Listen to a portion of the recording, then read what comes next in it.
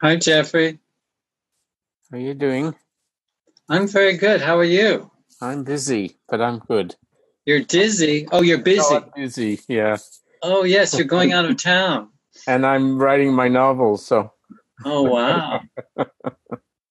That's I've intense. written I've written sixteen thousand words in a week. Oh, my God. You must be buzzing with energy. Uh, well, I'm rather tired actually because it's quite intense the writing. So, um, yeah, I'm hoping I'm not going to wear myself out with it. But uh, Yes. And are you glad to be at the end of this? This particular yes, the life divine. Yes, um, although great, great sense of completion for me. Yeah, I agree. Um, almost a kind of a blues, almost, right? It's an end and a beginning, also. Hey, Marco. Hello. Hi. Hi.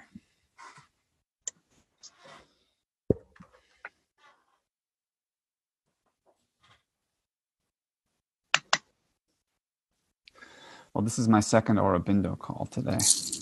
Oh, okay. It's been an intensive day. And I've had a friend visiting uh, whom you know, John, Mark Benet. Been, Oh, say hi to him for me. I will. We used to, we knew each other on Facebook. Mm-hmm. Um, and we, we go back over 20 years now uh, and um, haven't seen him in quite a long time. I think it's been almost a decade since he's been in Colorado because uh, we moved here together and we lived uh, at the hostel uh, for a little while uh, before he went on to other adventures. Uh, so Where, did- where does he? He lives in the South, right? he was living in New York, but he's been moving around. And now, apparent, I I think he may be staying in Boulder for a little, little while. He wants to start a monastery. Good for him. Yes. So he's here actually attending a business retreat. And that's where he's off now uh, and looking for a place to stay longer term. So he's pretty intense. and uh, and he's very into uh, the divinization of matter. Uh, and He sure um, is. sure and then i and then you know going through this last chapter and doing the talk this morning uh, i think i'm pretty uh, super saturated uh, with supramental uh, energies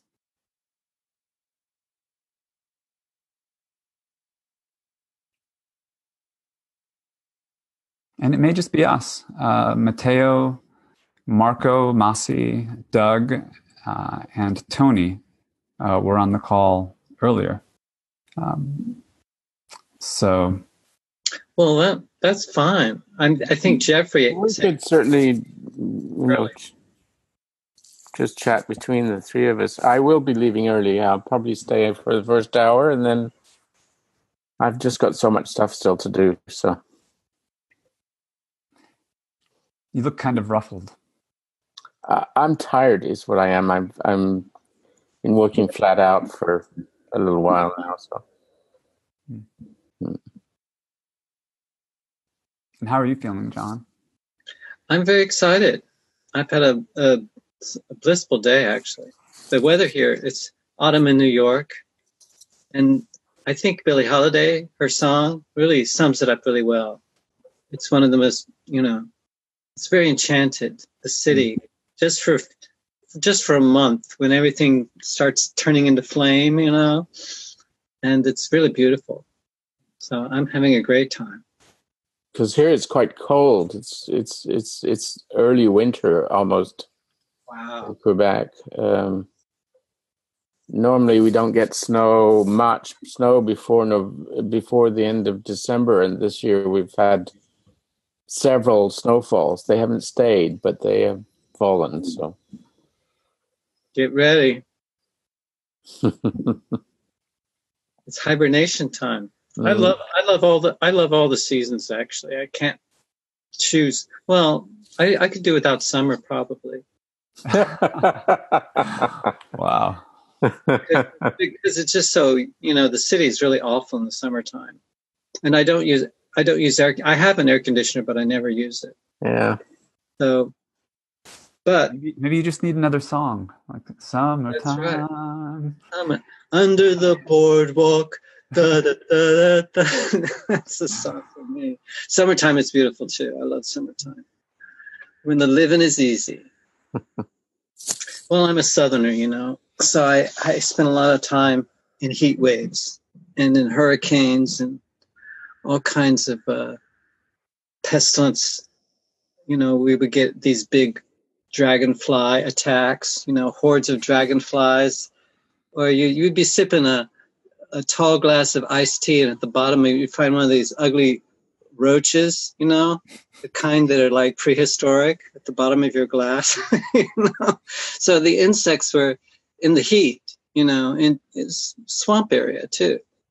They would just be snakes and insects would be crawling up the porch and into your house. And it was very hard to keep a boundary. So I'm not that fond of summer. I do like it, it has a kind of charm. Um, but I, I do love the, the fall and the winter and the spring. Yeah, I spent the summer in San Antonio, Texas, and there was always this encroaching of the of the, the exterior into the into the house. I almost stepped on a scorpion Oh, once. I was within, you know, an inch or so of, of stepping on it. That would have been probably been painful. that would have been I, hurt. I didn't have uh, I didn't have any tantric practices to transform that into bliss at the time. Right. try. I didn't know that you were in San Antonio. Yeah, that's a that's an interesting area, Texas. Actually, a lot of rolling hills there. Hmm. I, I spent some time there. So, shall we start? It looks like we're this just we three. I have a bell. Do you want to me- meditate? Yes. Sure, that'd be good. Let me get my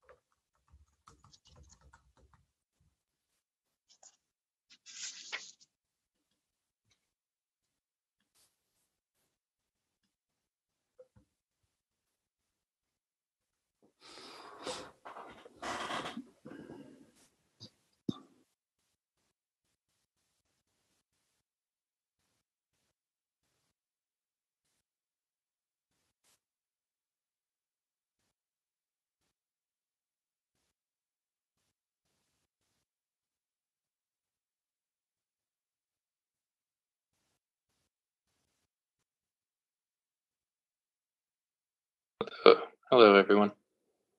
Oh, Doug. Hi, Doug.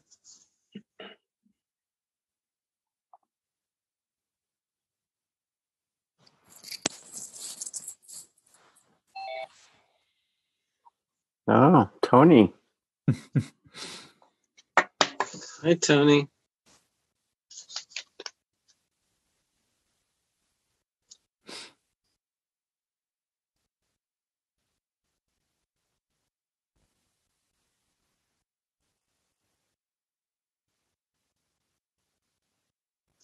Does anyone have a clue as to how we're going to frame this?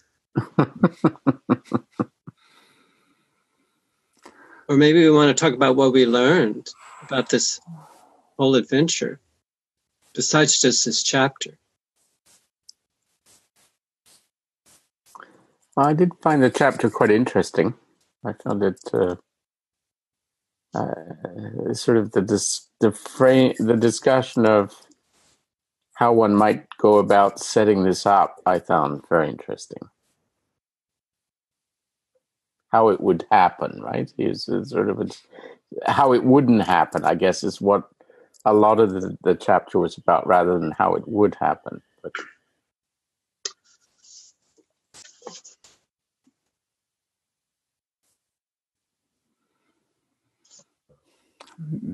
Maybe we can take turns just offering our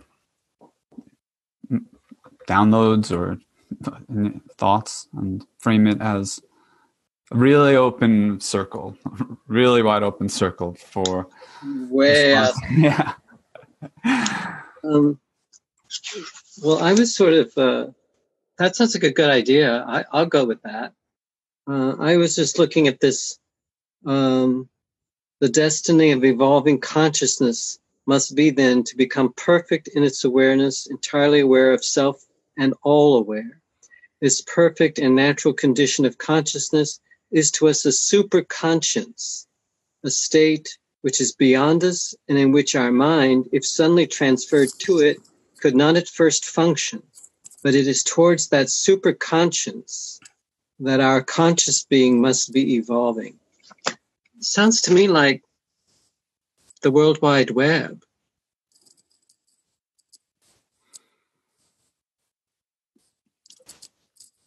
I find this um, uh, the whole idea of per- perfection. I find kind of appalling. I mean, perfection would, would bore us out of our minds, but we want it for about five minutes, and I think that's why we're always going to, uh, you know, this uh, our politics, the left and the right, on the extremes.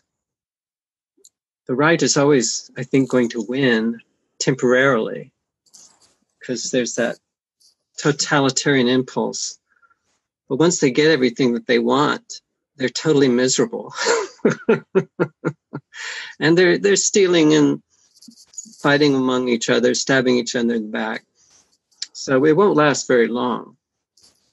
Um, but I think the upheavals that we're seeing in the world um, brought about by this this technology and our evolving relationship to it.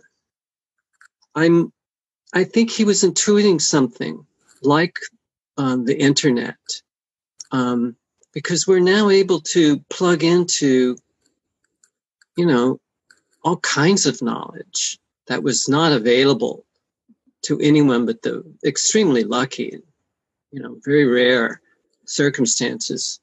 I think this um, I'm reading, um, I was listening earlier to Banerji talking about Aurobindo and Simondon and uh, the postmodern.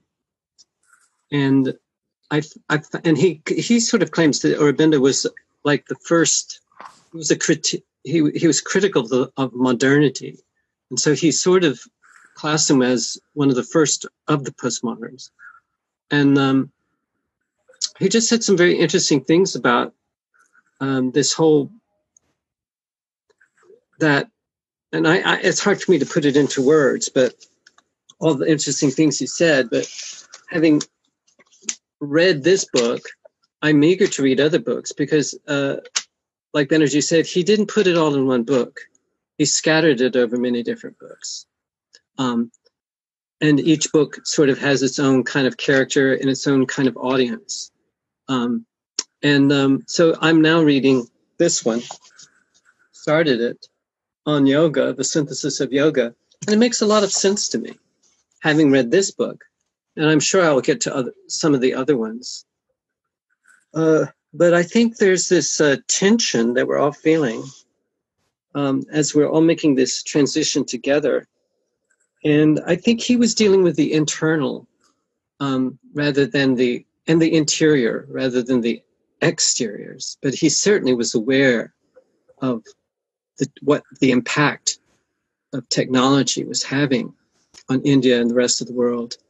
And um, I, and I and he was friendly to technology he was definitely an Enlightenment thinker. There was a great deal about the Enlightenment that he endorsed, like the separ- separation of church and state, which sort of makes him, you know, very different from what some people think of him as a religious figure, um, because he didn't think you could think freely at all unless the church and the state were, were, were separate.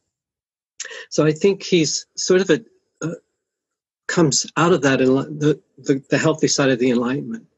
Um, but I think he registers this need that you, the technology is going to um, eventually take on a life of its own. And that we're getting so, and I think we're all feeling this, that the technology is kind of run away with the whole show. And that it's, we're in, and there's other theorists like Stiglitz. I think his name is Stiegler. He's a, I think you may know who he is, Doug. He's, a, he's a, I think he's a German, he's a French theorist he's saying we're in a lot of danger right now because there are these uh, people who want to control it all. Hi, Lauren, who are at the top, you know, who, who are eager to to control everyone through the technology.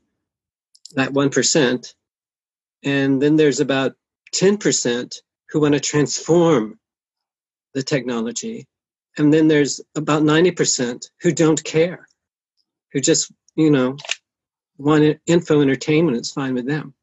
So uh, I think the um, those of us who want to transform the technology recognize we have to transform ourselves, and we have to uh,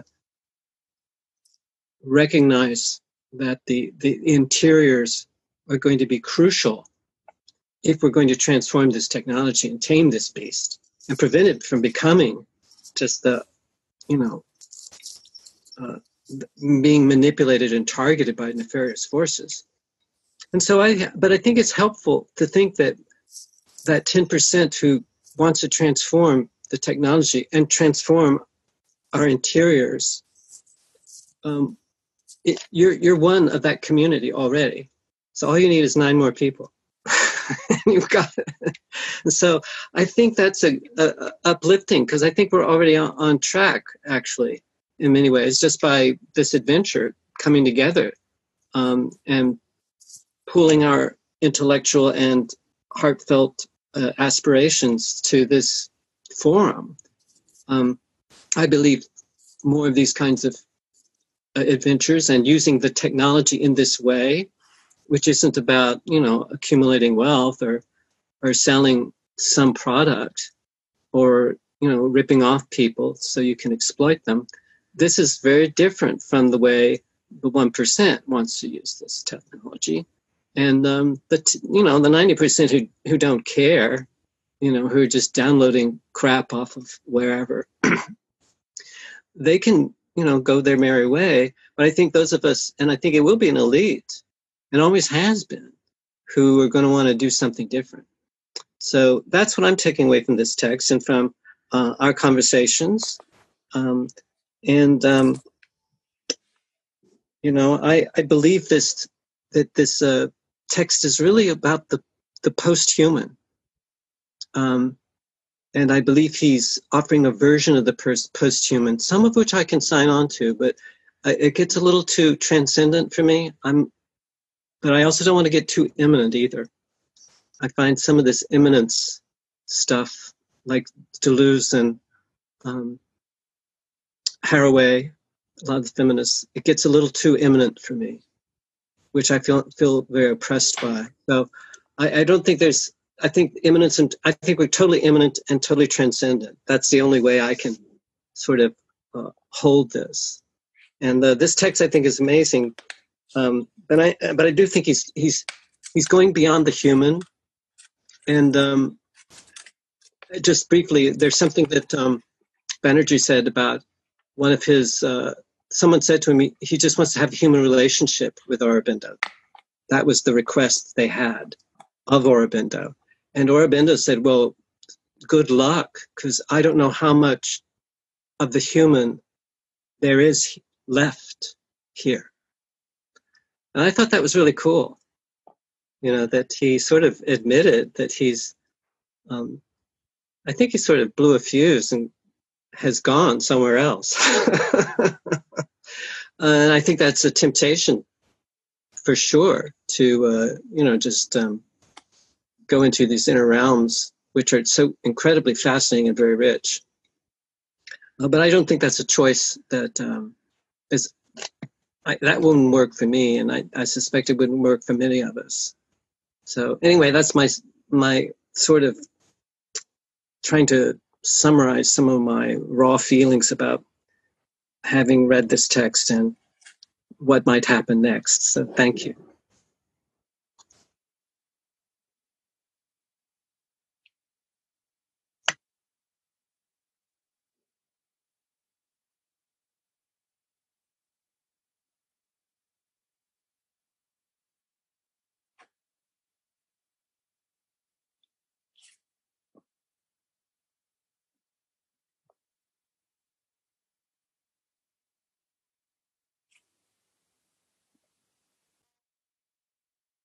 Um, I appreciate your thoughts about the technology issue. Um, Johnny, uh, I'm going next week to make a presentation in in France about precisely that issue, uh, which is how to use how to how one how one might set about to design this thing that's being called the Internet of Objects, of Internet of Things, um, to support human resiliency. So, um, as a alternative kind of approach to just doing things to increase the connectivity of the world, which is what most of the work is headed towards. But uh, anyway, uh, I don't know whether anybody will listen, but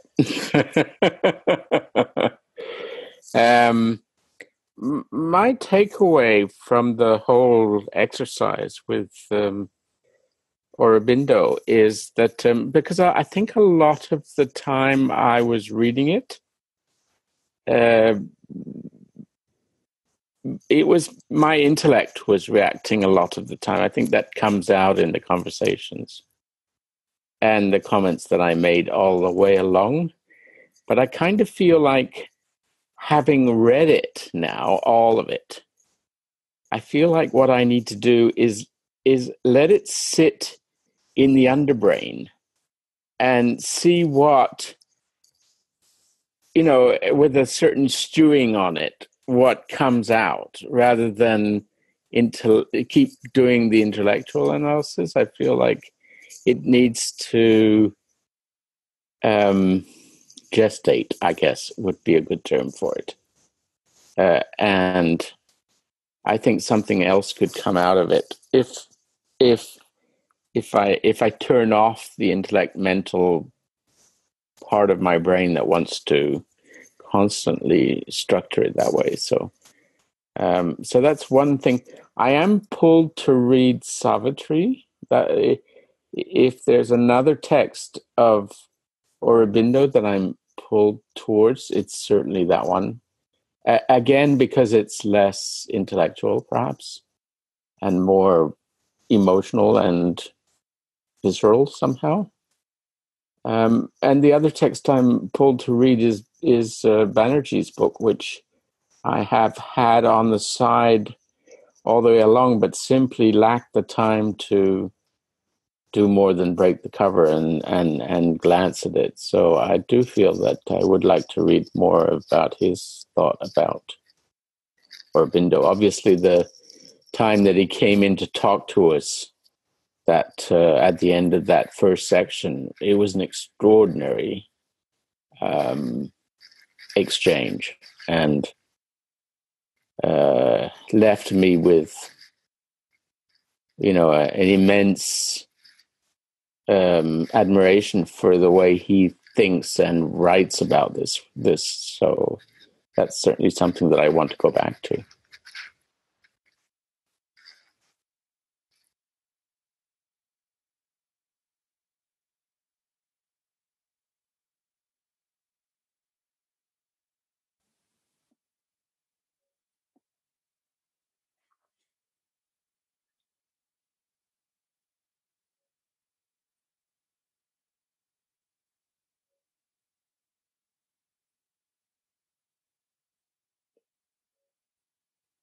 Yeah, I think for me personally, this type of material easily sits well. My my intellect is easily shut off, perhaps because there, there's not a lot going on in there. So I I easily uh, can can tap into that that nothingness. um, but I I've mentioned before this is my second time through, and um, there's something special about performing this with a group. And this chapter is the first opening up into the communal um, throughout the entire book uh, that I can remember, besides maybe a passage or two. But it, it, it was focused on the massive cosmology or philosophy um, that he's getting into and the individual and the individuation of the individual into um, various realms of being. Um, so, so this chapter in particular, I it, it's definitely open ended. There, um, listening, I listened, read this, and I also brushed up on some of the the Peacock pages, uh, the audio that's available there. Uh, that came in handy for the long drives I had this week. Um, but, but a lot of what was said there essentially was this was Aurobindo's way of reflecting on his own community, and um, I, I, can I can resonate with that the the many passages throughout this um, chapter I, have been reflecting on within my family, within groups that I frequent, um, and of course the group we have here, uh, the the technological faces that I, I see day to day. Um, I don't know how to respond very well right now to what you were getting at, John, um, that we've talked about before. So perhaps we could go there, but um, yeah, I guess that's my my opening phrases there.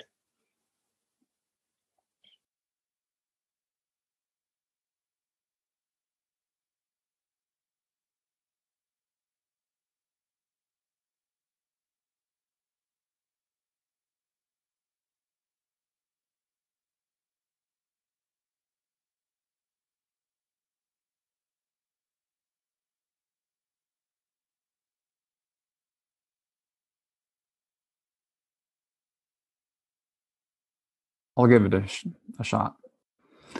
Uh, I'm afraid of going to going off the deep end, though. I think that if I were to get really going, it might take up too much time. I would start getting self conscious. Um, what's occurring to me now is that there was a human aspiration that we began with. The, the, the book that is to say, began with the human aspiration, but that I personally, I feel like I came to this with a personal aspiration. I came to this book um, because I wanted to gain vision or gain perspective. These are not the right words exactly, but it was to it was to deepen an inquiry. You know that had a res that you know, was already alive in me, and that we had already been working on in various guises, but but a, a, a timely inquiry, like something having to do with what's going on in the world, why you know why we're here, what we're um, what we're trying to accomplish. If we're trying to accomplish something, again, the language is not is kind of imprecise. Um, and I feel like I've never really read a text like this. Uh, I haven't read Aurobindo before. I've known of his ideas mainly through Wilber and through you know other um, commentators.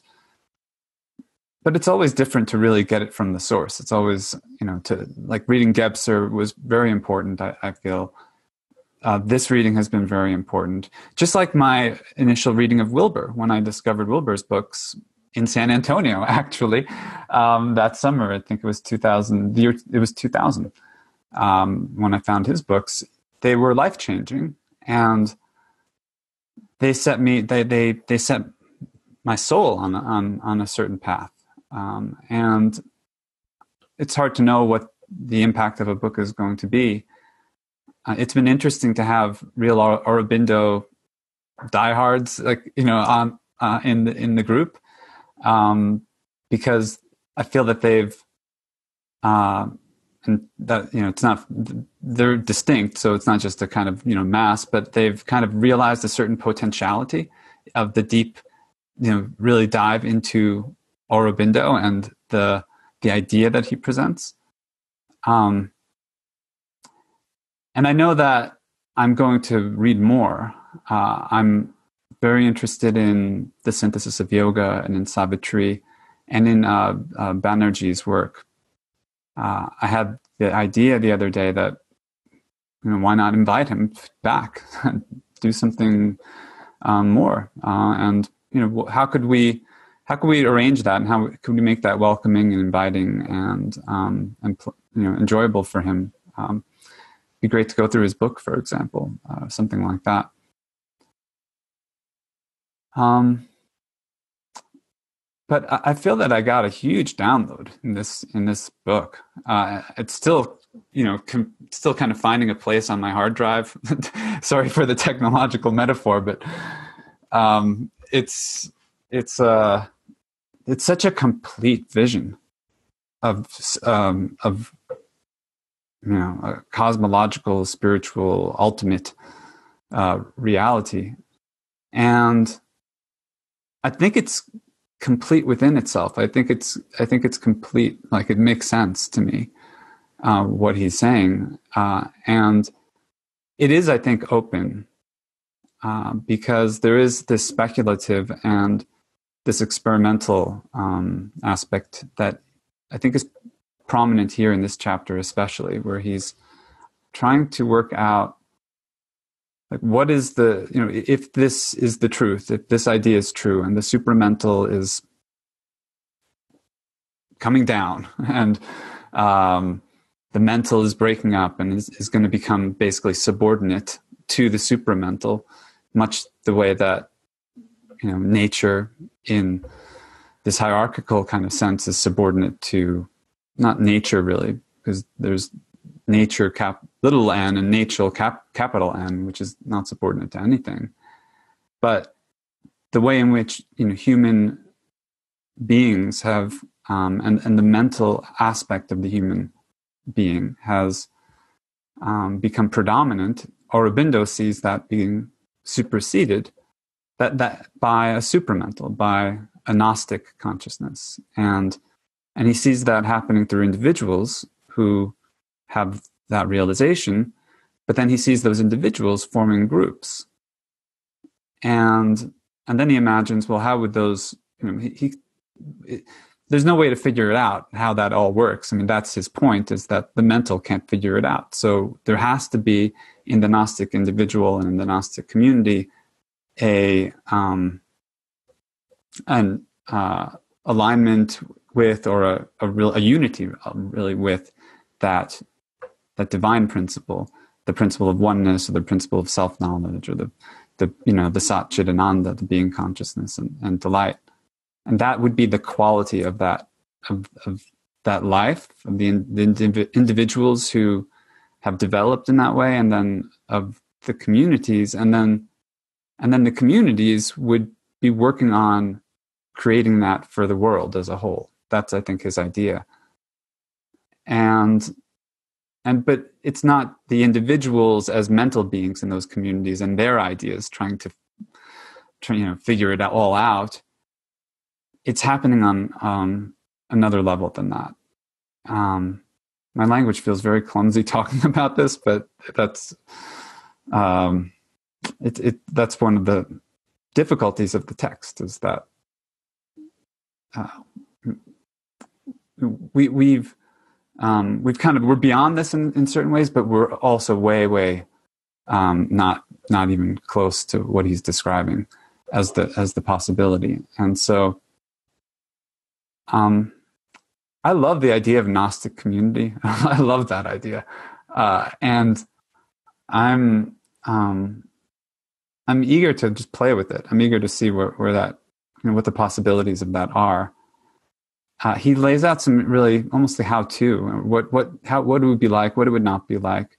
It couldn't be conformity to a particular you know idea. It couldn't be it would have to be diverse. It would have to be um, really founded in that unity consciousness.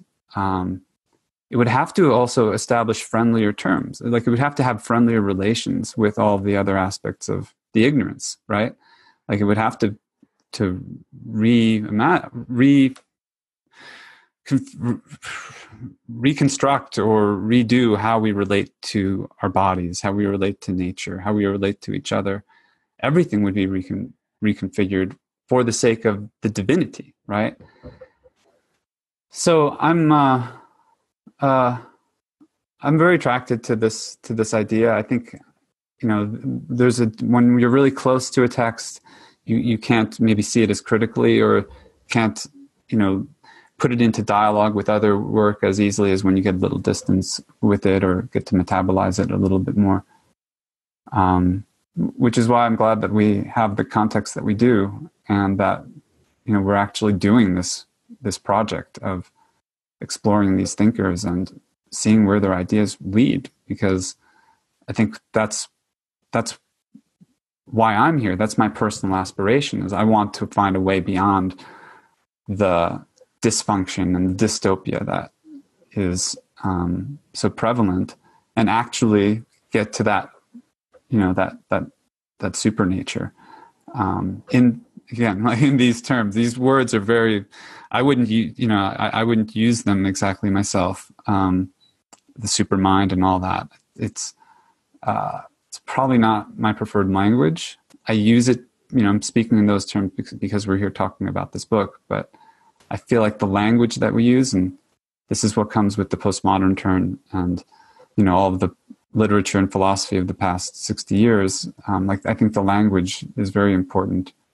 And and i'm i'm i think that that's the exploration that that part of the exploration that we're in. So that's that's it for now for me. Thank you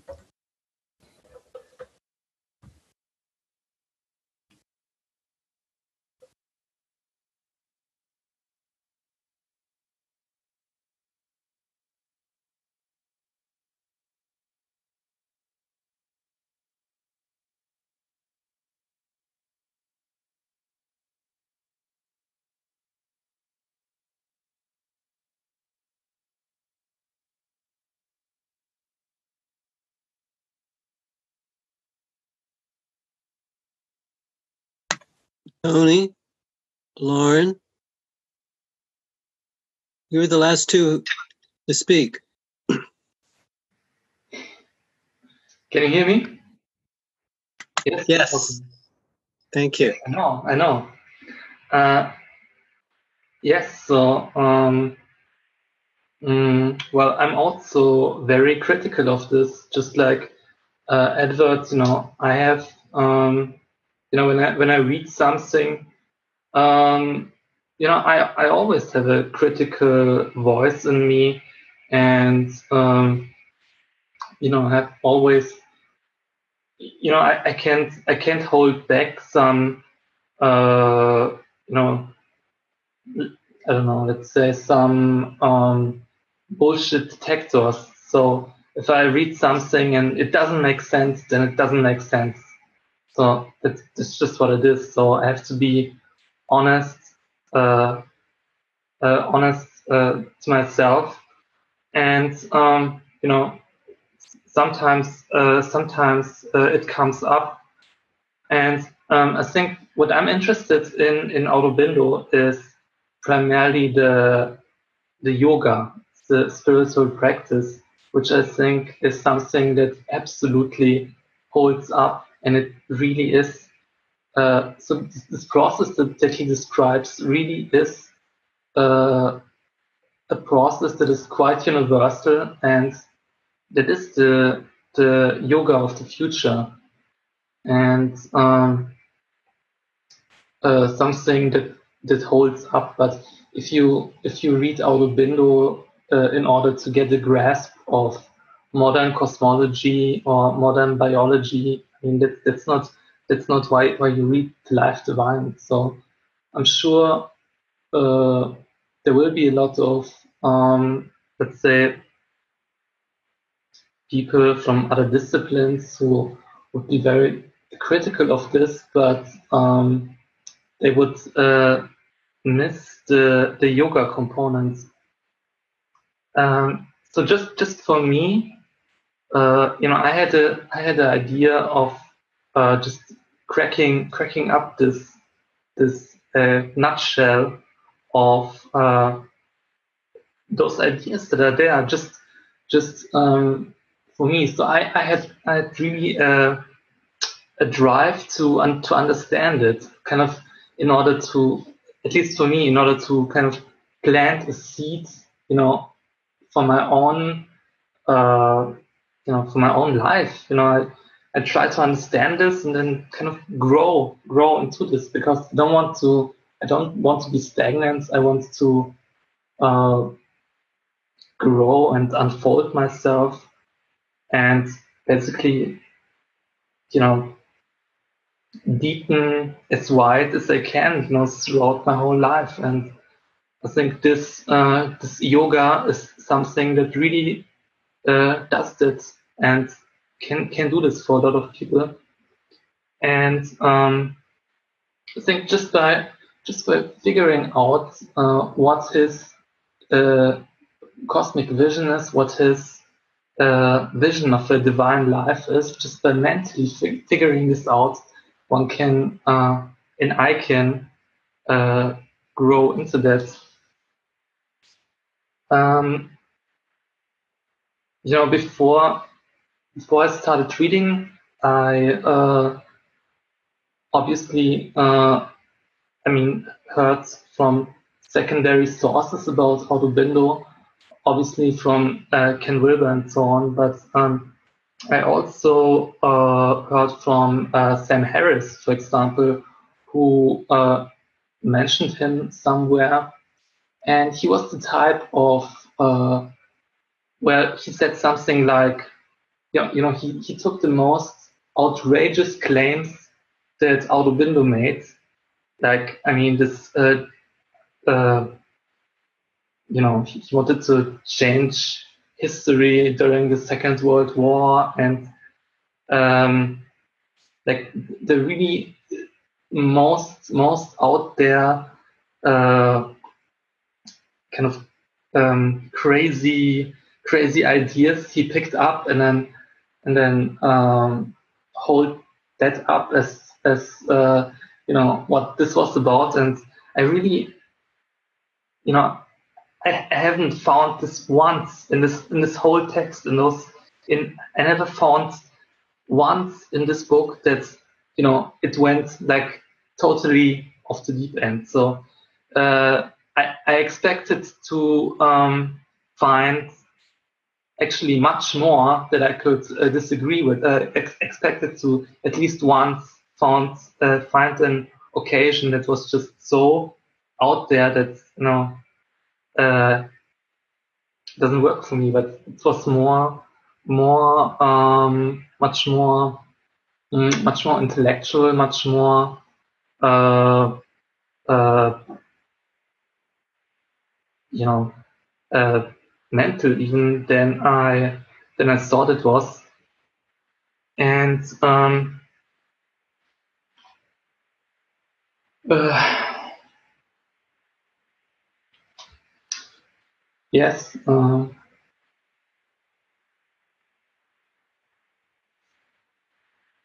I lost my track, but um, so uh, uh, concerning this last this last chapter, um, I, I, read it today. It's there's, there's so much so much in there. Um,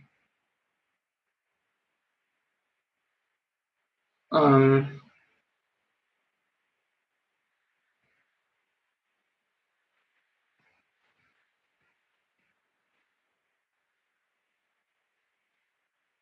um, going into those last pages, I think um, the Gnostic, uh, this Gnostic coming together, um, uh, hmm.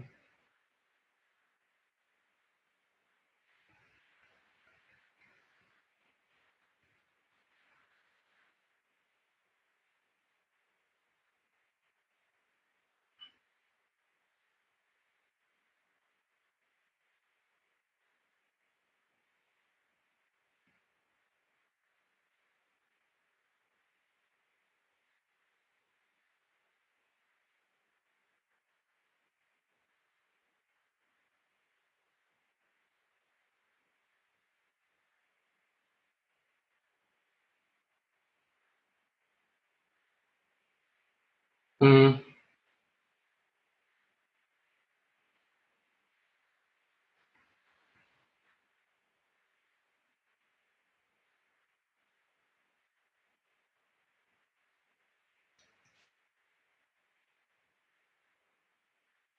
So I wouldn't say that, um, you know, obviously I'm not uh, anywhere close to um, uh, to this uh, Gnostic being or um, being enlightened or anything, but um, I will use this in my own uh, spiritual practice, in my own understanding of um, uh, a, sp- a, spiritual process. And just by coming to the end, um, I think that at least uh, a few uh, glimpses of this, of um, what he meant by by this higher unity and higher harmony and uh, higher uh, coming to, together and I think a, a, little bit of this of this uh, I got in this reading. So um, I will stop with that. totally lost my track.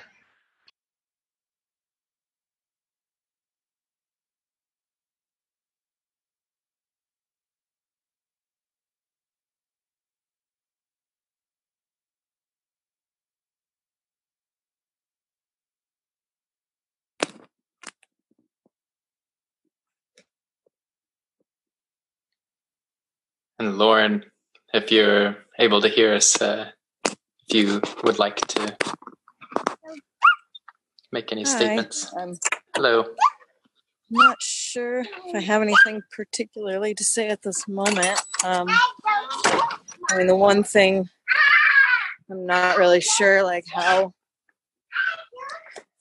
how much he really doesn't like just mentioned before he seems to be missing a lot of the the like lower chakra kind of things and i think that something i've come to believe is that enlightenment is not like uh, well while we can experience a blissful state through what may, maybe we can call enlightenment. I think that ultimately it's, it's and if you're enlightened, you're going to be pissed off about all the shit that's going on in the world.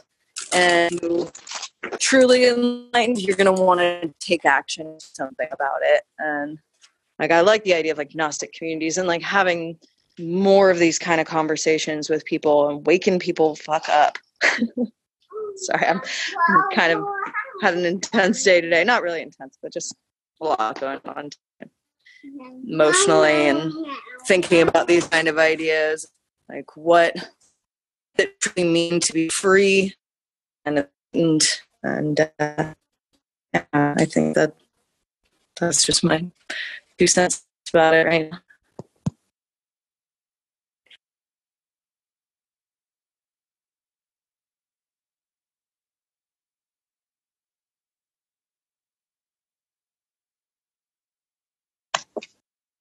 Thanks. Should we have another round? Can I start another round of? Okay. Well, what, what's coming up for me is uh, something that um, Banerji talks about. About um, it was predicted by Simon Simondon back in the '60s that the machines would create ensembles, and they would become like networks.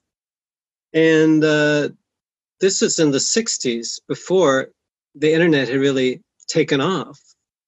Uh, but but uh, it was predicted that there would be uh, after this the networks start to get more even more networked that eventually they would evolve into small little terminals. And uh, he likened this to the cosmic being of technology, that the cosmos itself was evolving through this technology. And I was reminded these small little terminals of sort of like what we're doing right now. Um, but I'm also reminded that the early, the early cultures, um, when they were the hunters and the gatherers, um, they would form uh, polypodal units, units of two or maybe three, you know, to uh, create spears and bows and arrows and or to build a fire or whatever. They had to have um, twos or threes to share attention and to make decisions about how they're going to hunt the game or how they're going to use this bow and arrow or to set a trap. Um, so there was intention and attention. Um, and it was, and to go out and hunt an animal, you had to have rapport with that animal that uh, participatory mystique, I think some anthropologists called it. You had to sort of tune in to that animal so that you could enter into the weave of the environment so that the, the animal would not notice you, so that you could then kill it. And there was also an internal process, you know, where they had to negotiate with the soul of the spirit of the animal to be willing to sacrifice itself so that you could feed your family with its body. And so, you know, I I think that's all very fascinating that it that it started with small groups of people who who were able to pay attention to what others were paying attention to. And it was also said um, by Banerji that with this this uh, technology there comes a time, unless you're going to be just surfing the web and getting swept up into the technology, that's always the possibility, and that's what most people are doing. But he said there, there's a real necess- there's, a, there's a necessity that you decide what you want. That's cosmic agency coming through you. And you have to then, knowing what you want, use the technology to get what you want. And that's a different kind of game. And I believe that if you have the, those interiors that are that, that Gnostic being, you've acknowledged it or had a glimpse of it, or that psychic being, and that you can resonate with others who are also resonating with their own psychic being, then I believe that these polypodal units can start forming even among people who've never met uh, physically. And I think that's a challenge. And we talked about this actually uh, earlier in the week about how are we going to structure or restructure agency in uh, where there, when the community is physically absent. This has never been required of us in the history of humanity to have a community that's physically absent. But that's exactly what we are. I actually have, I have met Marco in the flesh a couple of times when he visited in New York, but otherwise I haven't met any of you. So we're, we're but we are forming a, a network and a community.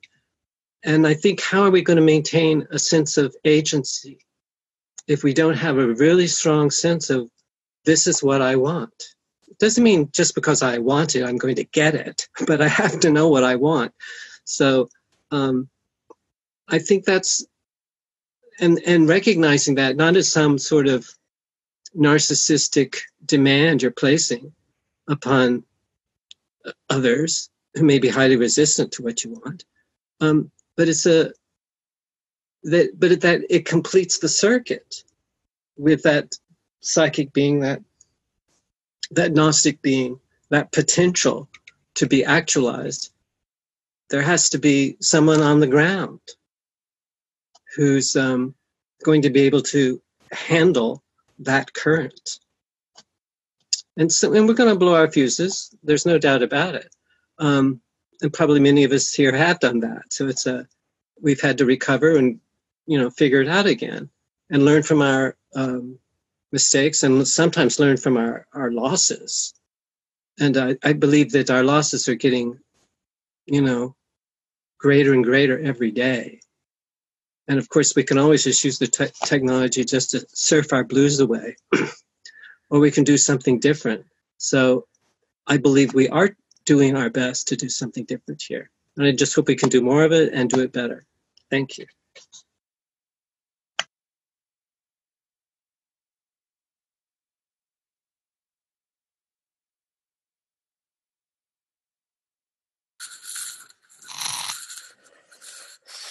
So I'm going to just make a, a couple of comments and then sign off um, and lead you to the rest of the discussion. I'll look back over it again later. Um, I, I, was struck. I was so I was uh, uh, writing up tonight the. Um, so you know I'm a member of Goodreads, and I do whenever I finish a book, I always write up a review for it. So I wrote up review of this one for Goodreads. And I was noticing as I was writing it that one of the things that I really like about the Life Divine, it's not something, I mean, I think we all are aware of it, but if you look at the book and you look at the blurb on the back cover and you and you sort of approach it in a classical way, you don't think of it this way at all. It really is a cosmology, right? I mean, it, it's a it's a complete understanding of the universe as a whole. It doesn't present itself that way, but that's what it is. And I love cosmologies. I mean, I mean, I would have read it if somebody had presented it to me years ago as a cosmology. I would have jumped into it two feet first to read it. You know, so um, and I'm reminded of the discussions we've been having about the possibility of reading Olaf Stapledon because in, because I think there are some similarities between what Stapledon was is talking about and what is going on in this book in terms of cosmology. Um, so anyway, so um, that is a maybe. Um, I, I don't think it's exactly a um, it's a playful way to understand the life divine as opposed to uh, and yet still a serious way to do it right? So um, the, then i wanted to comment so lauren you talked about the the discussion we had about the lower chakras and there was an exchange this week um, or last week with uh, between heather and i uh, it, it, I, am not sure it came up on the main forum. It may have been on the on the writers forum that it came up, but I'll repost the video that she posted to the writers forum because it was about this um, uh, Zen idea of the beast, and the beast and the role of the beast in light in enlightenment. And I think it's extra, it's entirely pertinent and a lot of fun to read and entirely pertinent or to listen to because it's like a half hour half hour pod, podcast kind of thing. Um, but it's entirely relevant to this idea of the lower chakras and, and their importance to the enlightenment process, if you like. Um, and so, uh, yeah, so I'll put that one, I'll put the link up for that. Uh, and I think that covers what I wanted to say. Uh, I, I, I mean, I know there's going to be another wrap up session. I'm not sure, depending on which date it happens, whether I'll be present for it. But I did want to say what a pleasure it's been to be in this adventure with all of you as well. So not just and and all of you meaning all of you who didn't come today, uh, all of you who were there this morning and I wasn't there at that meeting, or who who came at different times and aren't here now. But it's been a wonderful journey as a group and uh, and one of the pleasures of my life is a little bit like what you were saying, Johnny, about the virtual community aspect of what we're doing. But um, there is uh, it, it, it's amazing how much joy one can find in virtual community. and of course, um, after my recent excursion to Boulder, I did meet Marco and I did meet Carolyn and I did meet Heather. So I and Jeremy. So I I have some more um, anchored understandings of what's going on and and and and that's also interesting and has some interesting um, I don't know how, to what to say exactly about it, but uh, it, it changes the resonances that are in play in the discussions because of these because there's a physical anchoring going on behind the scenes as it were. So anyway so that was uh, so I, I i i i hope someday we'll get to meet johnny in in in, in the flesh i'm looking forward to that Highly possible maybe I'll come down to New York. You never know; it might happen. Please do. Please do. We have a lot of fun. Enjoy so, your trip, Geoffrey. Yeah, thank you. So with that, I'll leave you and uh, have a good end of the session, and I'll be back. I'll be back in two weeks, but uh, for whatever's going on.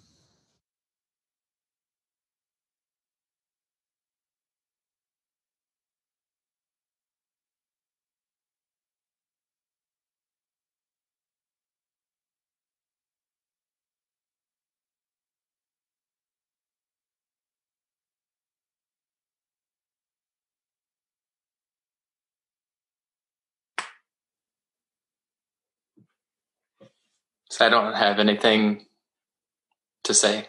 to be honest, I had a lot to say uh, earlier, perhaps, but now I'm. Um, I wouldn't mind maybe opening it up to everyone speaking, not necessarily out of turn, but um, as you see fit. So, if anyone would like to take my turn, go ahead.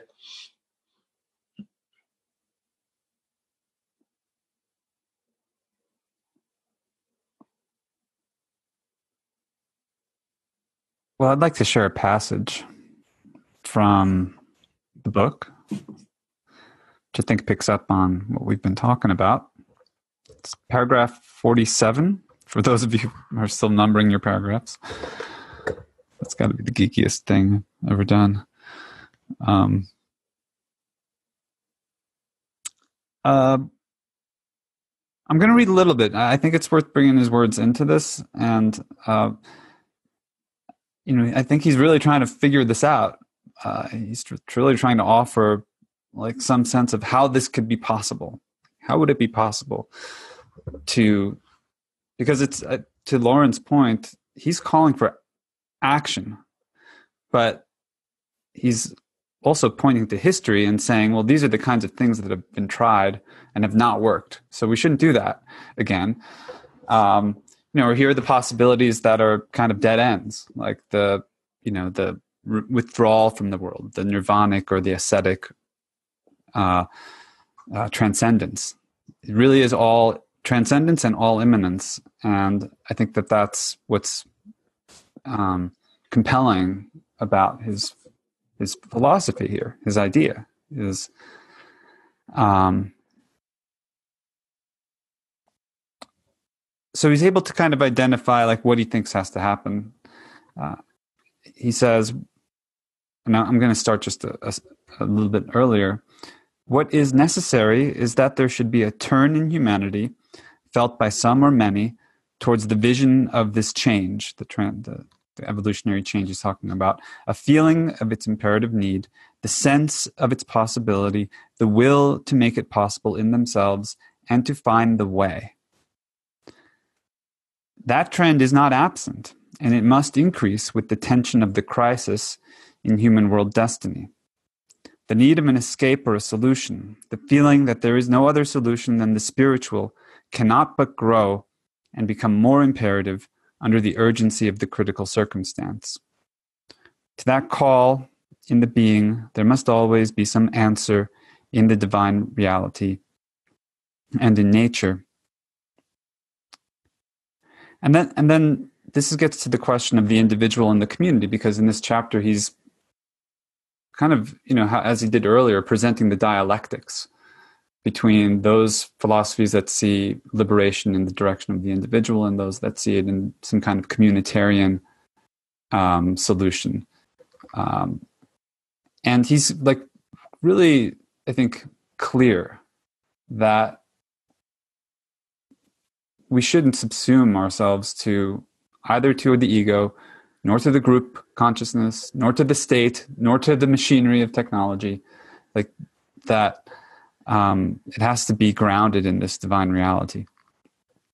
Um, so the answer might indeed be only individual. It might result in a multiplication of spiritualized individuals, or even conceivably, though not probably, a Gnostic individual or individuals isolated in the unspiritualized mass of humanity. Such Isolated realized beings must either withdraw into their secret divine kingdom and guard themselves in a spiritual solitude, or act from their inner light on mankind for what little can be prepared in such conditions for a happier future. The inner change can begin to take shape in a collective form only if the Gnostic individual finds others who have the same kind of inner life as himself and can form with them a group with its own autonomous existence or else a separate community or order of beings with its own inner law of life. Um, and he, he goes on to talk about this kind of the monastic aspects of that or ways that that might happen and then the downsides of that because you have this concentration of people who may have some gnostic you know insight or capability but at the same time still have uh, other programs other um, you know active parts of them they're still intermingled you know, as we all are with the ignorance, with the, the you know, the illusory um, ideas of, of the culture that we come from. Um, but he goes on. I'm probably not going to find this passage because it was a long argument. It was kind of scattered around. He's like, yes, that that I mean that that could you know, there, there has to be some monasticism is basically what he says. Some kind of way that you create the like a con- the conditions some protected zone you know where it's okay to be gnostic basically. Because if you're if you're gnostic in the mass of everyday life you're crazy you know you're like what imagine going around assuming that you're not separate from anybody else that there's you know one unitas multiplex, you know, one reality. If you really lived as if that were true and not behind a veil of, you know, distanciation, because that's what's enforced by the, you know, overall kind of social political reality, you'd be you'd be nuts. The, like that's revolutionary. So there's the need to sort of withdraw and to hide. But then if people like us get together and start talking and you know start peeking out from behind our veils and recognizing you know the the the, the soul the the person uh, who's in all of us then that starts to create another kind of possibility. Um, but it also brings its own you know pitfalls as we've seen in other communities that have tried to to do this.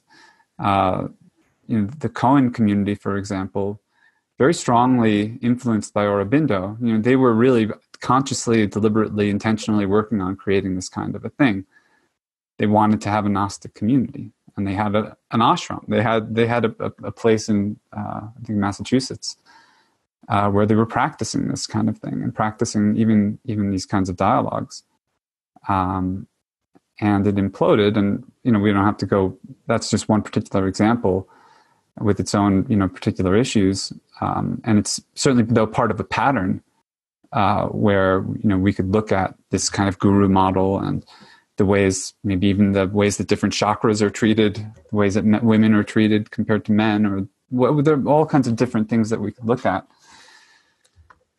But we have to get it right like you know like not right as in the sense of perfect but we have to kind of go beyond these fracases and these kind of aborted failed attempts and and um kind of make kind of make some headway you know on this this problem um and man i think what's what's really poignant for me in this chapter is just the um like the the there's a bit of a warning here around really where to look for that, like where to look for direction, because we need direction. But we have to be careful where it's coming from. And and that that I think is part of what is really maybe crucial about these kinds of conversations and and and also you know what I know can be frustrating but I think what is essential about a, a spacious frame because it allows a lot to come out that otherwise could remain behind that veil. And when it comes out, then it could be liberated and it can be spiritualized, it could be divinized, it could become part of, you know, the overall play. Um, but when it doesn't, it, it sort of appears in these in these da- more dangerous forms, you know, and that take the, you know, that becomes the abusive guru or the toxic culture or whatever other um, conditions we've come to associate with these like alternative communities. And i know people are afraid of that. Like you know i've had been burned. I've been traumatized by my experiences in in you know purport, per, attempting to be gnostic communities but um but the alternative is either you know isolation uh depression um or um you know i know for some it's it's you know, that it's it's suicide. Uh, so I think it's you know I think that it's um, it's important that we do this, and and I, I'm I'm really thankful that you're all doing like we're all here because I I really would not be able to have this kind of experience like with you know just in in the in my normal life. So this is kind of making the abnormal normal and I hope I hope the abnormal gets a lot more normal, uh, and um, and that you know that and I know that and that that's not I don't think that's boring. I think that that I think it's just the beginning. Like so much of our energy and our attention is just wasted. It's just trapped in nonsense, in just uh, in in structures, patterns that we really could outgrow. Um, so I'm with Lauren on that. like I think, I, you know, I think we have to really take action, and um, but we have to be. It has to really come from a good place, and and I think I think that that's happening. I, trust that that's happening. Uh, and that we have to still be critical too about it because that that's how we um, you know maintain our our alertness and our, our awareness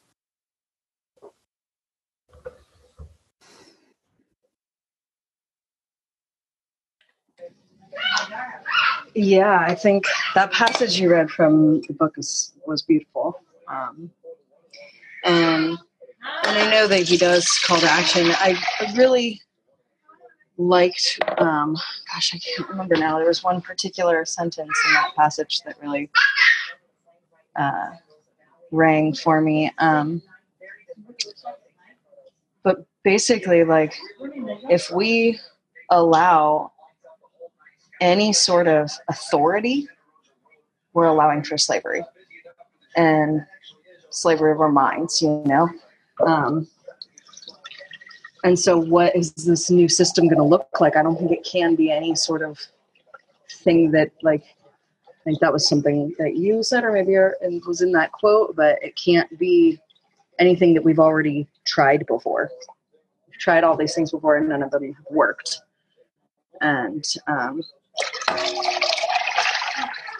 it reminds me a lot. I've been um, listening to this um, guy talking. He's, I don't know how well known he is, but he's putting out a lot of really interesting work. Um, his name is Mark Passio.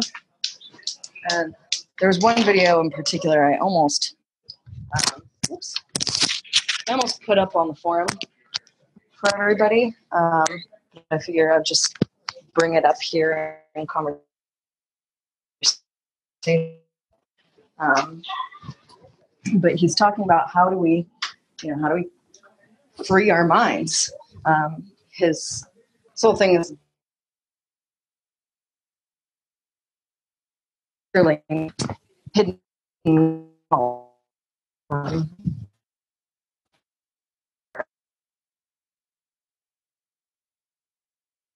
Caught up in like the new age bullshit, which there's a lot of new age bullshit out there that just derailing people. You know, like this idea of that like everything's shine unicorns and like it's all one, so that means it's all good, right? And that's just not there's a lot of fucked up shit in the world. And if we're going to create an peaceful civilization or find enlightenment, it does have to come from within first, but it also needs to to have action. And we, I think, the one of the most powerful ways in which we can make that change happen is like obviously coming from within, finding balance from within of both sides of ourselves, the the masculine and the feminine. You know, the feminine is like the nonviolent principle in a lot of ways, and the masculine is this standing up and taking action, like using that the sword of truth, like cutting through the bullshit. Um, if we don't integrate those within ourselves, we can't find that integrated in society. And the other ways in which we can step up and make this change happen is to not support the state, to not support the police, to not support the military, because they're our slave owners. They are order followers. They are the ones that are going to come and you know, take away your rights. Besides some person mugging you on the street for your wallet or something, like those are the people who are really taking away our rights. And if we want balance, we need to step up and say no. Um, that was something that he said in one of his presentations I was watching today, where he's like the the lost word of the Freemasonic tradition is no. We are too afraid to stand up and say no. You will not take my rights away. you know, no, stop. And, um, you know, that action is, is going to take more than sitting there in a mass protest while the government's hazing us, you know, while they're, the police have this militarized force pushing back on us. Like, that's not going to do anything. That's not going to make change just sitting there. Um, building communities like Auroville, and like you said, I don't remember what you called the other, what you said that other community was. I hadn't heard of it before, but it definitely has its pitfalls because a lot of times we still want somebody to be in control. We're like so used to being slaves that we're like, oh, you make the decisions for me. Let's put these other people up and have them be in control. And freedom is the absence of rulers, and that's what anarchy means too. It's not chaos, it's it's the absence of rulership, true freedom. And freedom equals, you know, infinite possibilities. And part of those infinite possibilities is chaos. We can't be afraid of chaos. If we're afraid of chaos, means we're afraid of being free. You know, we're afraid of what that would possibly mean. And maybe it will look chaotic at first. Um, but I think really what chaos is, is being enslaved. There's a lot of horrible things that are going on in our world today, and nobody is standing up to do anything about it, really. They just say, oh, the state's going to take care of it. You know? Um, so it's the the beautiful thing about his work is that he, he really is trying to integrate both of those masculine and feminine principles and say like let's let's balance find balance within ourselves so that we can find balance within the world yeah. You guys should all check him out if you're interested. It's, he's a little intense. His uh, tagline is you can get as offended as you want. Uh, but yeah mark passio is his name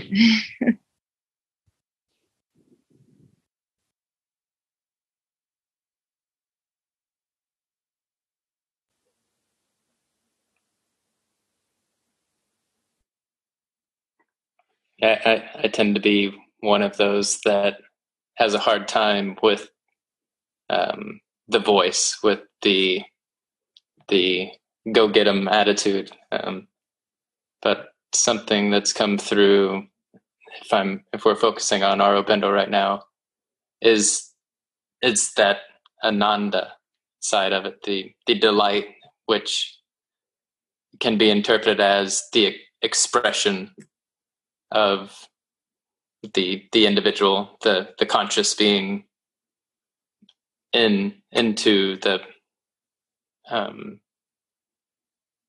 into the power, using power or being with power through through um, a conscious expression. At least that's how I'm interpreting it right now. And I, know Johnny and I, um, as much as I we, we could potentially argue or bicker over something. Um, we, I was on the the being side, and Johnny was the the becoming side, and we were we were trying to understand each other. And he he's he's constantly saying that being is so boring, being or or the the side of just being in silence, being with the nothingness and the void is well, there's nothing to it. it's boring. It's it's not going to save the world. It's not going to you're, you're going to be the monk in the cave in the middle of a mountain and recluse yourself to death while the world goes spinning. Where, in my perspective, the being is messy and it's constantly, even as we're like we're saying here, even the best of the most Gnostic communities out there are becoming a mess and shutting down and um, screwing up minds potentially. Uh, and I don't know how this connects, but I was reflecting on all of us here, and I, some of us have met in person, perhaps. Um, but all it would take is um, maybe a maybe there's a national like no power week and we wouldn't be able to communicate with each other for a week or, or maybe it, it ends up being a, a month or something like that we we our community would be shut down um, we wouldn't be able to have these discussions. And where where would I be? What what would I do? Would I wouldn't be? I, I might be depressed. I might um, feel well. My my weirdness is not being understood by um, the individuals that are within my physical community. But I would still continue on. But there would be something lacking so the community that we formed here, for me, is something I, I carry all of your voices around with me. And it's really uh, been a method, a tool I carry uh, towards the, the outer expression. And so I've, I've learned to not just be constantly seeking the emptiness of my vessel. Uh, but and what I've learned with this reading in particular, uh, this time around, and I'm sure there's uh, a page I could quote, maybe paragraph 37, but um, I I got that the the emptiness. I, I, don't know how to best express it, but it's. I always want to say it's a resetting, um, maybe like sleep. I, I tend to my cosmology is focused on this the daily cycle I go through, the the light of day and the darkness of night, or the the meditation side of things, and this this nothingness, this attachment, not even attachment I have, but this need to go into emptiness is essentially just emptying emptying up so I can be filled again, so I can refill again this time around a little bit better with a few more words from those that I love to allow for me to create that the best expression I could possibly be.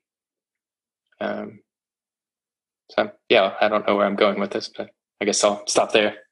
Maybe a, a thank you.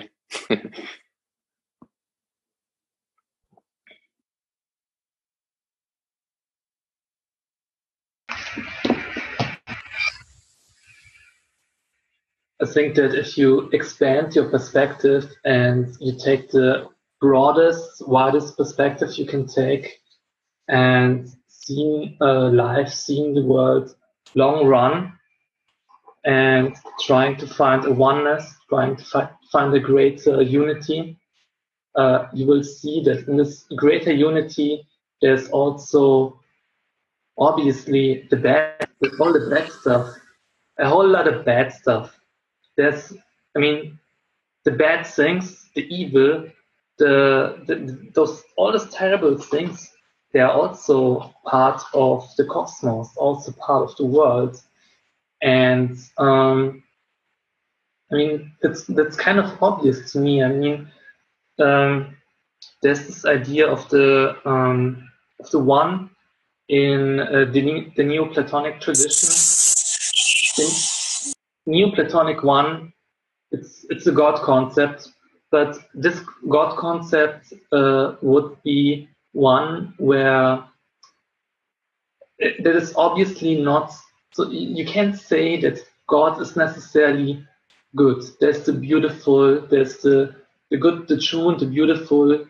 But I mean, it's not always it's not always that. So there's there's also the the ugly and the the terrible and the horrifying.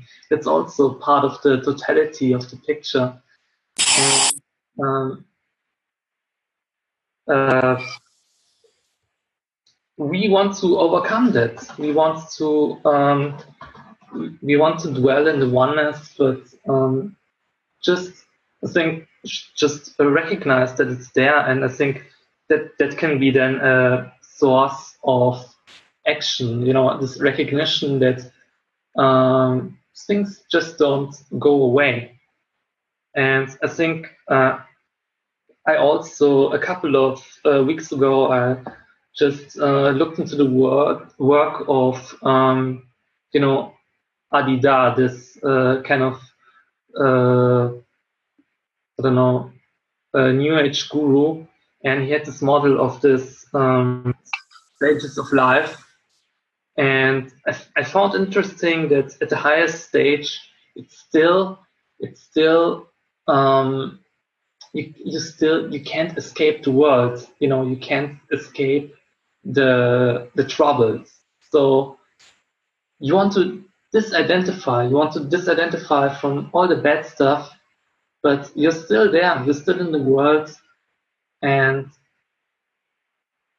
you know, you're basically at the best place you can be, but all the shit, it doesn't go away. Uh, you know, I think maybe somehow this could be um, an impulse, impulse for action, but they need they need to be both. They need to be uh, um, just um, a way of just stepping back, and then also a way to uh, to em- embrace the world and um, to have a greater unity. um, you know, early on in those uh, in those uh, sessions for me, uh, you know, this uh, I don't know this book by um, or this this concept by uh, Marc Gafni of the unique self. It just you know popped up for me and um, bought the book uh, a couple of a week ago or so, and I will spend I will spend this month with this book and um, just uh, explore a little bit this idea of a unique self because it's obvious to me that all the people in this uh, in this room they have a unique perspective and a unique self and it's basically true for everyone. I kind of find this extremely fascinating and uh, I will I will dwell in this dwell in this work for uh, November and um, uh, yes. Um, that's that's what I what I will be reading. I'm actually quite happy that um, this uh, reading is over. I read Aurobindo a month ago. I, I, went through it a month ago, and um, you know, I, you know, I'm happy that that it's finished now. So I can I can jump into other things.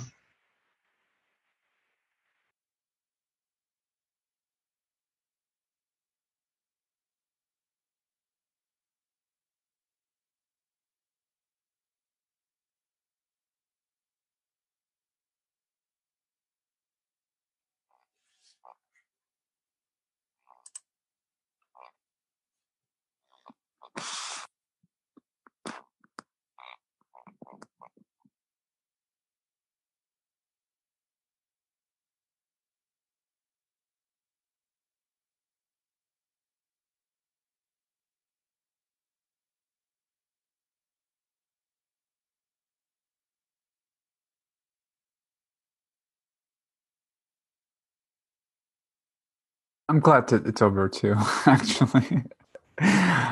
Uh, it's, a big book. It's a lot of reading. It's a lot of time. So I, I, I think there, there are a whole bunch of other books that I would love to read and other discussions and work I want to do, actually, things I want to get done um, to, on a practical level, like make it easier for people to have conversations. Like I, um, I like that there's a diversification kind of per- multiplication you know of lines of ex- exploration like the dreaming group and the social dreaming and then katina's work on biblical interpretation. Um, i'm happy that marco masi wants to explore synthesis of yoga. Um, and there's i have a long list of things i would like to explore and and, and go into and um, so i want i want to work on making it easier uh, and making it um, just on a technical level. Uh, and that'll come, I know. Like it's just it's just a matter of time and getting organized and communicating and so forth. Um, but I think I think it's I mean this to me is a life work. I mean, this is my life's work now. Um, as a I'm a writer as well, and I write poetry and fiction things like that. But it's all part of to me creating creating a new world, uh, recreating the world, and I, I, don't. Sometimes I like to be grandiose, but I don't. Um, I think it's. Uh, I think it, it's. Um, to to me, the only game in town, not co- this our ourselves specifically, but but yes, I mean because here we are. Uh, we're not doing something different. We're not you know, like John said earlier, just surfing the web or, you know, following the latest, you know, the ins and outs of the politics, or maybe maybe some of us are. I mean, I do follow. I do follow politics, and I do um, pay attention because uh, you know I have I have to live in this world. I have daughters who have to grow up in this world, so I want to be aware of what's going on. Um, but I also want to be anticipating like what is beyond what's going on and what I want to have happen, like what I want. Uh, and what you know, to the extent that there is a we, to the extent that there's a group consciousness, like what it wants or what we want, that's another dimension of it. And then there's the dimension that's beyond any of us individually or, you know, collectively, and what that, what just wants to happen uh, in reality. And that's obviously very important. Um, so you can't just have, I mean, there's no simple way to navigate the complexity of that. Like, I think that hashing it out and trying things, experimenting, taking risks, um, but being, you know, willing to fail, but also being willing to forgive ourselves and you know when we fail and um, try again. Uh, I think that that's really what this is about, uh, and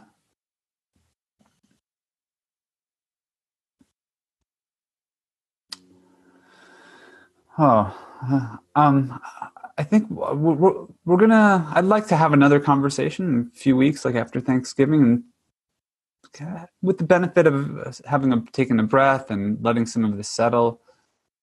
There's so many directions we could go, and I want to support them all. I mean, at least the ones that aren't, you know, really crazy, and you know. Uh, but everyone has great ideas, and everyone has this unique self, like you're saying, that is very interesting. I think, like I'm I love the practice of listening, and and then I love the space that is created so that when I have something that wants to come forth or crystallize or manifest, here it is. I can I can I can um, bring it forth.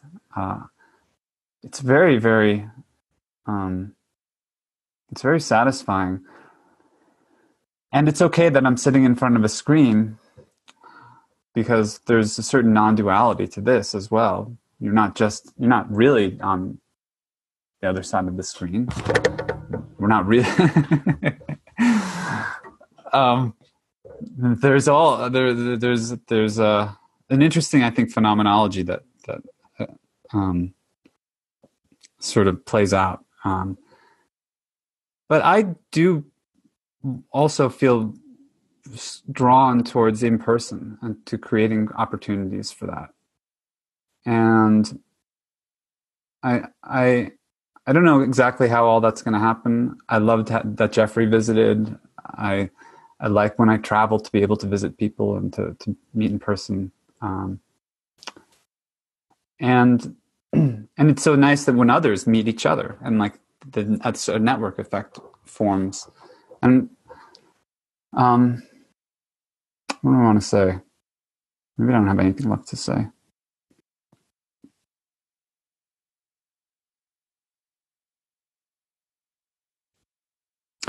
I do want to say this. I did the, the one time that I, I, felt like I had an insight into what Gnostic community might be. It was at the Alex and Al, Allyson Grey's place, the Chapel of Sacred Mirrors in upstate New York. And I was there with my brother and a friend of his, and there was a, um, a an event. It was a solstice, I think, um, winter solstice or no, summer solstice. Sorry, and I was just sitting in the cafe because there was dancing going on and there was live painting and music and different kinds of activities. And Alex and Allyson had given a talk, and it was just a, a ritual celebration. But it was really inspired by and grounded in a aesthetic vision, a creative vision, a spiritual vision. Um, Alex and Allyson, in their demeanor and their comportment, um, were not authoritarian, you know, guru figures. They, they were really setting a tone and setting kind of a um, a sacred space. That's really what they were doing, and and and I had a moment a moment sitting and observing what was happening around me and talking to whoever would come up. I I, I was just sitting talk, having casual conversations, but I felt this timelessness and the sense that these communities of people, these events, these were happening all the time. and they've have been happening for aeons. And that each time that an event like that happens, each time that people come together in this kind of communion that is really free flowing between the finite and the infinite, between the mortal and the immortal. Um, like that is Gnostic community, and it's it's it was esoteric in the sense that you know that there was a whole world outside of that that had no idea what was going on uh, you know in in the grounds and in the consciousness of the people that were there. Just people going about their lives and the police and you know all of the whole social technological infrastructure around us. But even in the midst of all that this could this this event could happen and people could share the delight the joy of of of of the play of possibilities. When when gnostic consciousness like gnostic you know di- comes into our our our, our beings our body minds. Um, it was a really beautiful experience and, and it was simple. Like i don't have anything dramatic to report uh, about it other than the sense that it was a timeless thing and that it was really very very old. Uh, not not just a potentiality of this historical moment but something that um, has very it's very mysterious actually um, so I think I, I think I'm, i have nothing left to say tonight, and I'm happy just to listen to what others uh, want to end with because we've got another 15 minutes or so. Well, very briefly, what's coming to my mind? I, I, um, I had the good fortune to work with uh, a brilliant therapist, David Grove, right towards the end of his life. Um, and he he created these little islands of resistance around the country and also in the UK and in France. And he was developing this uh, practice, clean language, symbolic modeling, which I practiced with some of you guys. Um, and he worked a lot with metaphor, and he would enter into the weave of the person and their language, and he would convert their their conceptual gibberish into metaphor. And these rich metaphorical landscapes would start to emerge. And he would get them to draw pictures or make a, a dance out of it or represent it in some way that made sense to them. But in making sense to them as they represented it, it made sense to others as well because there's a communication. Um, and I, I, um, and it was often, it was reported to me, someone said that he often would, um, people who had worked with him over the years, he would come up to him and say hello, and he wouldn't know them. He wouldn't recognize them. He said, "Oh, have we met before?" And they said, "Oh, yes." And he, and he said, "Well, what was your metaphor?" And they would tell him, "Oh, it was a it was a dinosaur with a, you know, someone like with a sword." and uh, like, oh, said, oh yeah, and there was a mountain and, and a volcano, and and he went, oh yeah, yeah, now I know you. So he knew them, I think, at a deeper level than just the presentation of the physical body. He was he knew their metaphorical landscape, and that he took with him. And um, right, and I, the last workshop I did with him in New Jersey, he he said that um, he was he was only like 58 years old. He was a young man. He said, you know, he had a few more things to do. He'd been very innovative for about a, a dozen years. He'd been really cutting edge innovation in the therapy world. And he said he had a few more things to tidy up. And he said, and then I'm finished. And he had a massive heart attack about six months later and died and left all these these little pockets of resistance and metaphorical, uh, you know, metaphor makers uh, without a, a, a, benevolent father figure to lead them.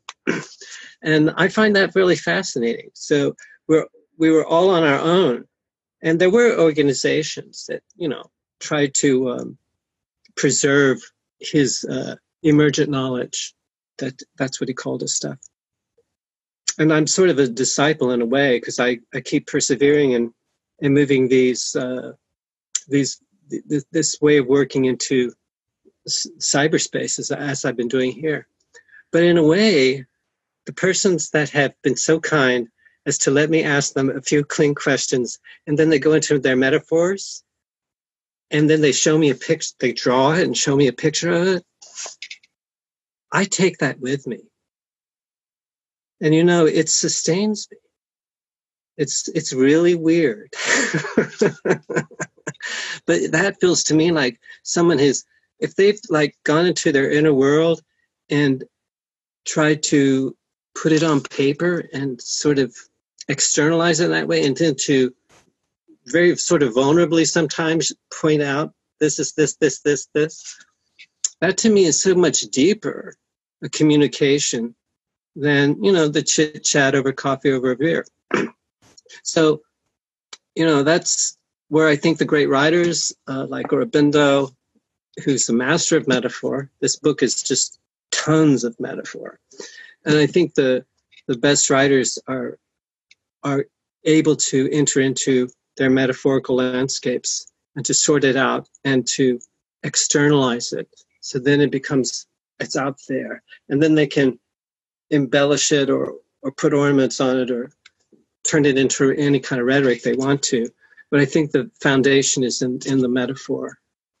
So that's what I've enjoyed so much about these this particular reading where um, you know, I'm just not a very cognitive kind of guy. I have to draw pictures, you know, and dance around the room. I'm, I've spared you that.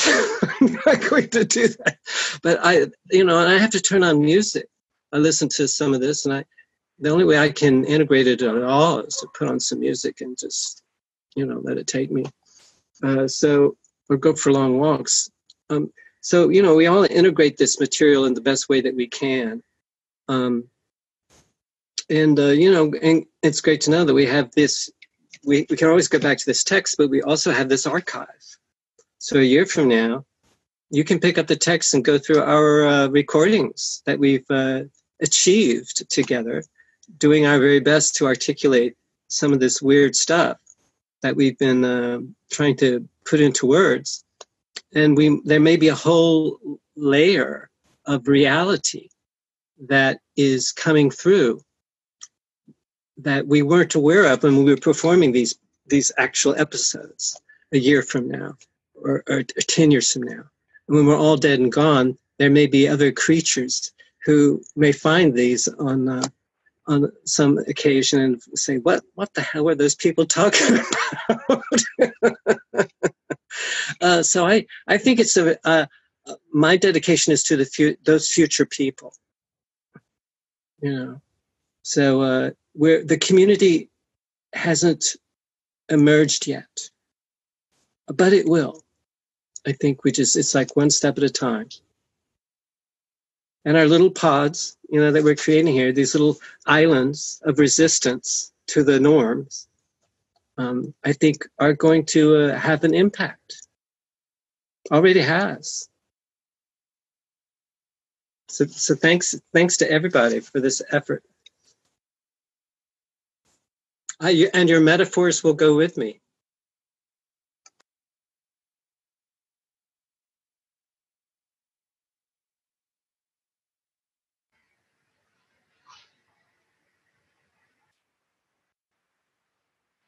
You know, John, I watched uh, some of your uh, alternate re- alternate reality videos, and um, just by getting a little bit into this, I um, what I want to do is, uh, you know, I want to uh, talk to my uh, dad, uh, grandma a little bit more. And, you know, for people who do something like this, I would say it's a little bit strange to do something like this, but I have a real desire to do it. And, you know, I will do this. I will talk to my dad, grandma, you know, and I will I don't know what this is, if this is some uh, you know, shadow issues that I have or some unfinished business. Uh, but you know, I, I will do this, and um, you know that that has motivated me somehow to to do this. So to share this. I, I, I definitely support you in that, Tony. And and and please draw some pictures and post it. I'd love and some dialogue. I'd love to hear about it. Um, yes. You know, when she died, I don't know, just just one second. So for me, kind of, um, I don't know. I just think feel that I have some unfinished business with her. So um, um, that's what I'm gonna do.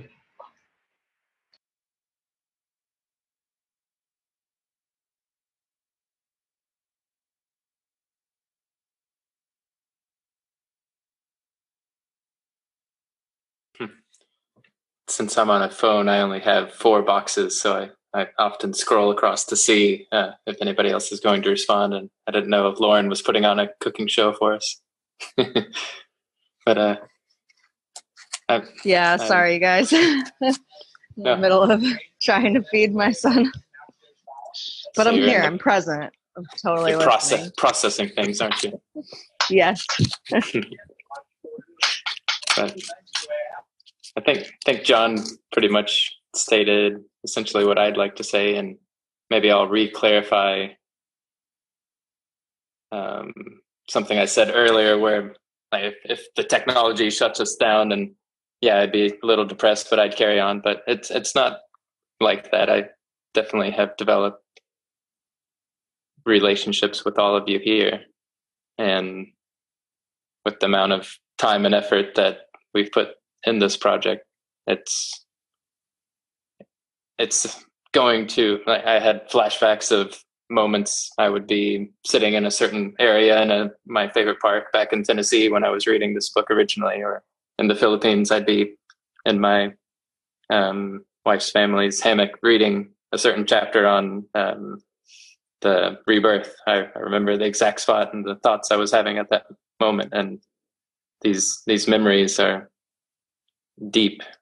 And yeah these memories are now archived here for this this time around. And that's that's doubly great. That's somebody like tony can learn about clean language. And um, i learned about sloterdijk's bubbles. That's how i came about to uh, reading the second book globes. And i developed relationships with with ed and johnny and marco and and donna when she was there and, and wendy um, who was there for the first two, I think, sessions here. And even though I, I might not physically see a lot of um, the people that have been on here, a lot of you, I, I hope to in the future. But there, there is a certain level of depth and greatness that's achieved through these conversations. And yeah, I could keep saying that on and on, and I, I probably will, but um, I suppose we'll have a chance to reflect on this reading once more and um, continue then. So, thank you again, everyone.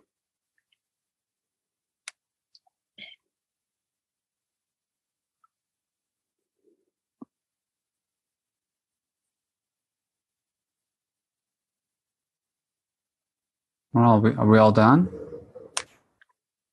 It's like dinner time in the Unger household.